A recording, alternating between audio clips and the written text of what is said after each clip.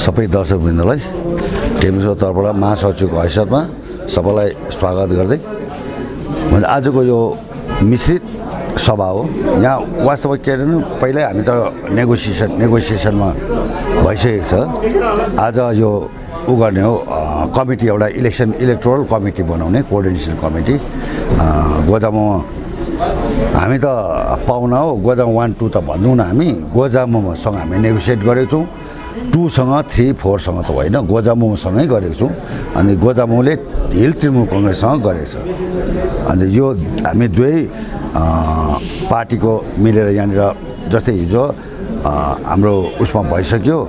बिजनबारी ठुलो खण्ड ब्लक भएकोले गर्दा तेइसवटा जिपी भएकोले गर्दाखेरि बिजनबारी चाहिँ हामीले एघारवटा ग्राम पञ्चायत यता लेबोङ भल्लीपट्टि लाएर एउटा कमिटी हिजो बन्यो। अनि बिजनबारीपट्टि पनि त्यसरी नै जोइन्ट कमिटी कोर्डिनेसन कमिटी तेह्रवटा ग्राम पञ्चायतको इन्क्लुड तेह्रवटा ग्राम पञ्चायतको एउटा कमिटी बन्यो।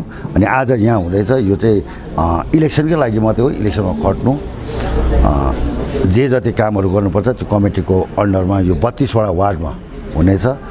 सभाहरू भयो इलेक्ट्रोल मटेरियल्सहरू पोस्टरिङहरू जे जति नै गर्नुपर्छ उसले गर्नेछ। अनि दुईजना कोअर्डिनेटर हुन्छ गोजामुको एकजना टिएमसी एकजना। त्यो गर्छ। हुन त हाम्रो जित निश्चित छ तर हामी र पनि लागि परेका छौँ। अनि दुईवटा कमिटी मिलेर चाहिँ सबै ठाउँ यहाँ मात्रै नभएर यो दार्जिलिङ टाउन म्युनिसिपालिटीमा मात्रै नभएर सम्पूर्ण ब्लकमै नै सम्पूर्ण म्युनिसिपालिटीमै मिश्रित भएर हामी काम गर्दै काम गर्दैछौँ? हामीले विमल गुरुङको गोजामौलाई सपोर्ट गरेको छौँ। ए गर्नु कारण चाहिँ केही पनि होइन। एउटा के भने हामी विनय खेमा विनय खेमा भन्छ हामी सत्रदेखि अठार भनौँ सत्रैदेखि हामी उसमा थियौँ।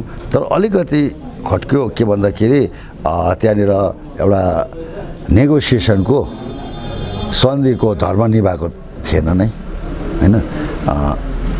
अ, सन्धि भन्छ मित मितलाएपछि सबै मिलेर गर्नुपर्ने हुन्छ। तर त्यहाँ चाहिँ दुःखमा मात्रै हामी रह्यौँ। सो म त मरौको मलाई जाने मात्रै बिहाको जन्तीमा चाहिँ अलिकति निम्तो नभएको जस्तो भयो। अनि अर्को कुरो चाहिँ फेरि यो इलेक्सन जो भयो हामीले पहिला गऱ्यौँ न। इलेक्सन भएपछि नोमिनेसन भए चाहिँ विड्रोलसम्म हाम्रो सपोर्ट भएको थिएन। किन विड्रोल त हेर्नु पऱ्यो भरे क्यान्डिडेट हुन्छ हुँदैन। अनि उनीहरूले सो हाम्रो अफिसियल क्यान्डिडेट नहुँदा उनीहरूको एउटा धर्म हुन्थ्यो होला तर उनीहरूले भनेर तपाईँले सुन्नुभयो तपाईँहरू मार्फतै भनेको? हामीलाई हामी अल इन्डिया तृणमूल कङ्ग्रेससँग हाम्रो सन्धि छ हिल टिएम तृणमूलसँग होइन हामीलाई हिलको तृणमूलको बैशाखी चाहिँदैन भनेर। अनि चाहिँदैन भने अब उनीहरूलाई आवश्यकता उनीहरू त पहिल्यै सफिसियन्ट छ किन पहिला पनि हिल तृणमूल कङ्ग्रेसको भोट एकचालिस हजार पाएकै हो। सायद उहाँहरूको छ सौ चाहिँ थियो होला। अब त्यो बढेर अहिले अठार सौ बाह्र सौ बाह्र सौ अठार सौ भएको छ भने हामी भन्नु केही सक्दैनौँ। अनि अर्को यहाँ चाहिँ हामीले सन्धि गरेको छ हामीलाई बोलाएर एकदम फकाएर होइन। डेडिकेट हो दिदीले बोलाएरै ल्याउनु भएको थियो। अनि फेरि एउटा उसले हामीले सघाउनु पर्छ कि पर्दैन भन्दाखेरि एउटा सम्मानपूर्वक उहाँहरूको उहाँहरूको पहलमा होइन निम्तोमा हामीलाई बोलाएको छ। अनि यो पल्ट होइन यो एमएलएको मात्रै कुरा छैन। सबै धेरैवटा कुरोमा नेगोसिएसन भएको छ। सायद भविष्यमा राम्रै हुन्छ। जस्तै कालिम्पोङमा यो विनी शर्माले एउटा इन्टरभ्यूमा दिएको थियो है। यो तपाईँले जुन चाहिँ निर्णय लिएको त्यो पार्टीको उयो निर्देश बिना लिएको हो भन्ने कुरा गरेको थियो त्यसमा के त्यो बिनी शर्मा भाइ बिनी भाइ एकदम राम्रो छ मसँग कुन पार्टीमा छ अहिले? त्यो तपाईँहरूकै पार्टीमा। अनि पोर्टफोलियो के हो उसको? पोर्टफोलियो? ऊ त कुनै पोर्टफोलियोमा छैन। District president LB LB Rai sir हुनुहुन्छ। होइन हाम्रो सब डिभिजनमा आयो भने यहाँनिर एनबी खस कोअर्डिनेटर छ म आफै जेनरल सेक्रेटरी छु। शान्ता दिदी एमपी मात्रै होइन वेस्ट बेङ्गाल टिएमसी कोअर्डिनेसन कमिटीको ऊ एक्जिक्युटिभ मेम्बर हुनुहुन्छ होइन। अनि उहाँको त्यो चाहिँ उसले भनेको छ नि म पोर्ट पोर्टफोलियोमा छुइनँ भन्ने भन्नुभएको छ बिन्नी भाइले। व्यक्तिगत भनेको अब व्यक्तिगतलाई त हामी रोक्न सक्दैनौँ नि त। अनि अब उसले म पोर्टफोलियोमा छुइनँ भन् भन्ने भन्दैछ फेरि एउटा अर्को कुरा भन्दैछ हाइकमान्डको निर्देश छैन। अब पोर्टफोलियोमा छैन भने आज जिल्लाको केही गर्नु पऱ्यो भने कलकत्ताबाट सोझै हाम्रो सब कोअर्डिनेटरलाई हुँदैन किन जिल्लाको डिस्ट्रिक्ट प्रेसिडेन्ट चाहिँ जिल्ला सभापति चाहिँ LB Rai LB Rai LB Rai मार्फत चाहिँ हामीले सूचना पाउँछौँ। अनि ऊ म कुनै पोर्टफोलियोमा छुइनँ भन्दै चाहिँ उसले थाहा पाउँदा फेरि लु त्यो पनि माने अरे त हामीलाई आएको छैन।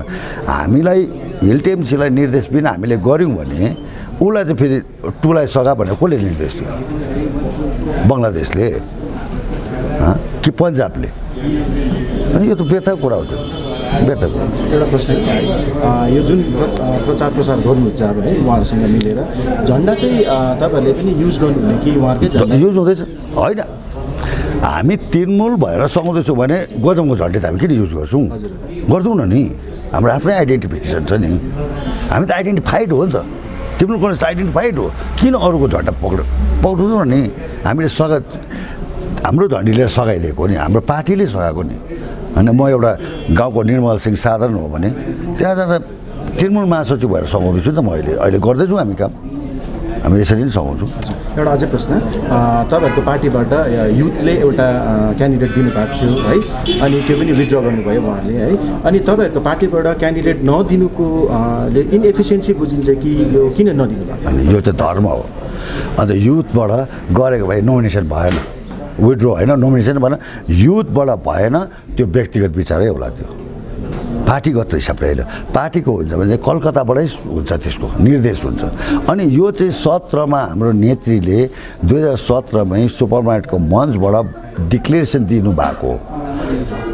एमएलए गोजामाको हुन्छ एमपी हाम्रो हुन्छ भनेर।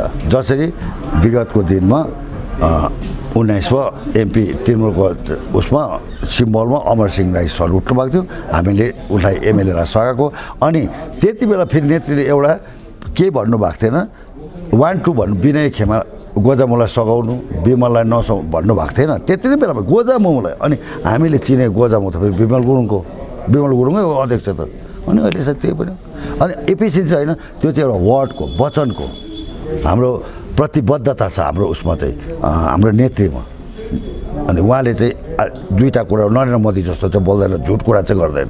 आजको यो हाम्रो हिल टिएमसी र हाम्रो पार्टी गोजामुको यो संयुक्त सभा चाहिँ एउटा यो चुनाउलाई लिएर कोअर्डिनेसन क- गरेर कसरी चुनाउलाई अगाडि बढाउने चुनाउ कार्यक्रमलाई अगाडि कसरी बढाउने विशेष सहरी क्षेत्रमा टाउनमा चाहिँ अब कतिपय हाम्रो तृणमूलको भाइहरूले अब कोअर्डिनेसन गरेर काम गर्ने भन्ने इच्छा जाहेर गरिसकेपछि हामी पनि एउटा गठबन्धनको धर्ममा चाहिँ उहाँलाई साथमा लिएर चाहिँ कस्तो प्रकारले सुचारू रूपले चाहिँ चुनावी रणनीतिलाई चाहिँ अगाडि बढाउने भन्ने आजको यो कोअर्डिनेसन कमिटीको एउटा सुरुवाती सभा जस्तो हो। यसको योभन्दा अगाडि पनि हामीले एउटा तृणमूलको केन्द्रीय नेतृत्वसँग बसेर हाम्रो केन्द्रीय नेतृत्वहरू पाँच छजना थियौँ। हाम्रो महासचिव थियो उपाध्यक्ष आरपी बाजी थियो र हामी सबै केन्द्रीय नेतृत्वहरू बसेर टिएमसीको केन्द्रीय केन्द्रीय नेतृत्वसँग हामीले बसेको थियौँ जिल्ला नेतृत्वसँग त्यसैको फलोअप यो आज कोअर्डिनेसन कमिटी टाउनलाई विशेष मध्य मध्यनजरमा राख्दै र अब चुनाउ पनि नजिकै छ एक हप्ता प्रायः एक हप्ता छ त्यो भित्रमा चाहिँ अब कस्तो प्रकारले सुझबुझ राखेर एउटा गठबन्धनलाई दिगो राखेर चाहिँ हामीले चुनाउमा हाम्रो पार्टी पिटीवाला पेम्बा छिरिङवाला योलाई चाहिँ कसरी जिताउनु पर्ने त्यही मात्रै जमरको हाम्रो आजको सभाको उद्देश्य